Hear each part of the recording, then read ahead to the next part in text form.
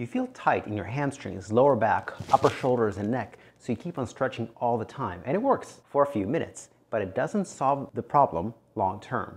Why are you so tight all the time? Is stretching perhaps the wrong approach? That's exactly what we'll discuss in this video. So what are the most common reasons why people stretch? Reason number one is that they just feel tight. There's just a sub subjective sensation of tightness. The other common reason is that they have an injury and they assume that stretching will make it better. We'll talk about why both of those may not be the best reasons to stretch and when is it appropriate to stretch, for how long, how many times per week, etc. In my experience as a personal trainer, when somebody complains of the subjective sensation of tightness, I always think, is this subjective or can this be verified with objective range of motion testing? So I test the range of motion wherever they feel tight. So if they feel tight on their hamstrings, I check their hamstrings range of motion. If they feel tight in the neck, I check the neck range of motion.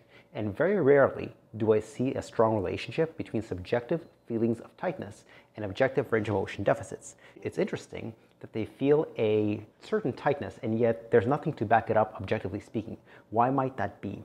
What I found is that usually if somebody has that, a neighboring muscle is weak. For instance, if the hamstrings feel tight, usually the glutes are not doing their job. The glutes are weak. So the hamstrings feel tight because they are doing the job of both their own function, the hamstrings, but they're also trying to do the function of the glutes. Of course, they're not as good as doing the function of the glutes as the glutes are, so they're working double time.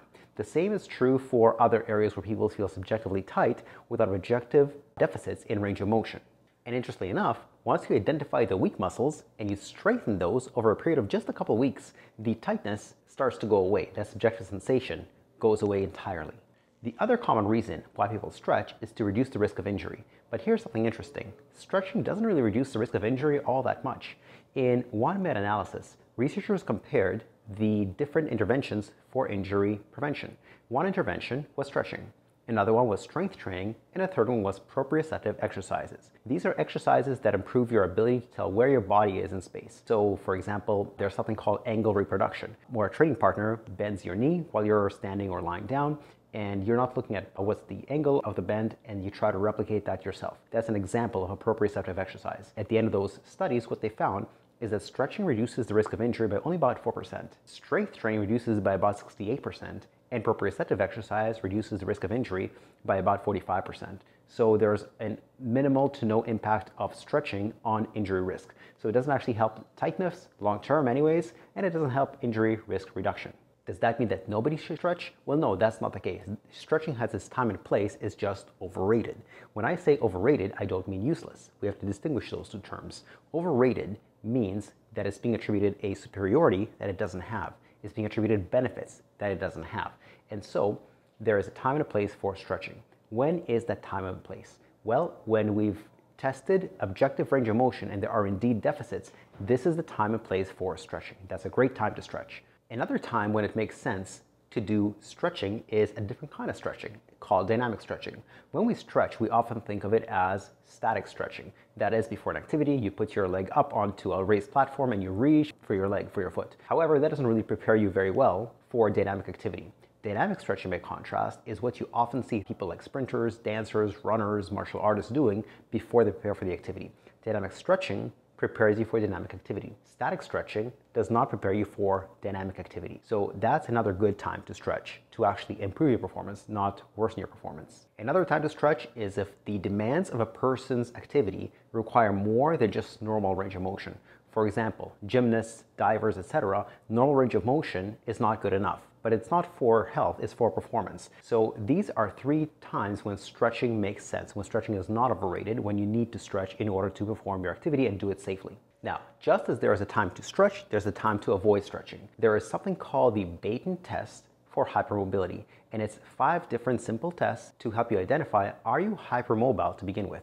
One of those tests is elbow extension. You see how far you can extend your elbow, and in some people, the forearm actually goes down. That's not me, so I can't demonstrate it. Another part of the Beighton hypermobility test is trying to bring your index finger back and see how far back it can go. If it can go past 90 degrees, that's hypermobility in this joint. A third test is trying to touch your thumb to the forearm. I can't do it, so I'm not going to demonstrate it. And another test is trying to straighten your knee and see if your knee goes past 180 degrees and the last test of the Beighton hypermobility test is trying to touch your palms to the ground without bending your knees. If you can do that without warming up, and if you have three or more out of the five tests, you are hypermobile. Somebody like you should never stretch. And the great irony is that people who have hypermobility actually gravitate towards stretching. They love yoga classes, stretching in general, etc.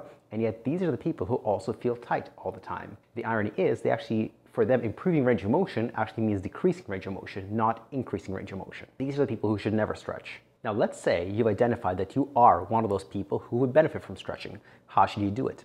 You want your stretching to have semi-permanent effects. You don't want to have to stretch every few hours just to maintain range of motion. You want to stretch a few times and then that progress holds for a very long time. One way to do that is with a type of stretching called PNF.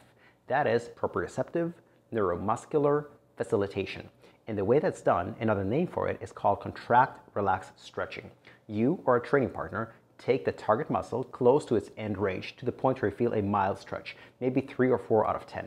In that position, you contract the muscle with about 80% force for 6 to 10 seconds. And as you relax, you or your training partner pushes that muscle to a slightly greater length, maybe another 5, 10 degrees until you feel a new level of stretch. If you do it this way, you'll be able to maintain your flexibility improvements a lot longer. Generally speaking, from about one to six sessions of stretching in this way, you can have semi-permanent improvements in your flexibility. After you've done that, there's no need to continue stretching for greater and greater and greater flexibility. There's a point at which enough is enough. Once you've normalized range of motion, more is not better unless you're an athlete in one of these sports where you actually require greater flexibility than just normal. To maintain your flexibility after you've normalized it, you don't need to do it two, three, four times per week anymore. You might only need to do it once every month to every six months. So it doesn't really take a long time or a lot of effort to maintain once you've already made it. And it only takes one to six sessions to really to normalize your range of motion. If you enjoy this video, I have a newsletter with lots more information just like this. It's in the link below, and if you click on that, you'll be able to subscribe to the newsletter, and you'll always have the opportunity to unsubscribe.